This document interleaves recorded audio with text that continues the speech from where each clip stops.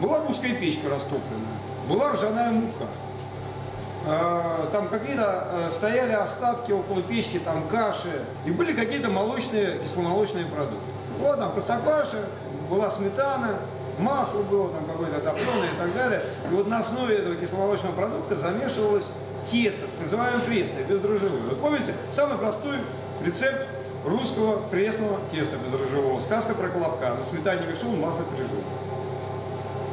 Вот на сметане и замешиваю. Вот я сейчас замешиваю наши калитки на сметане.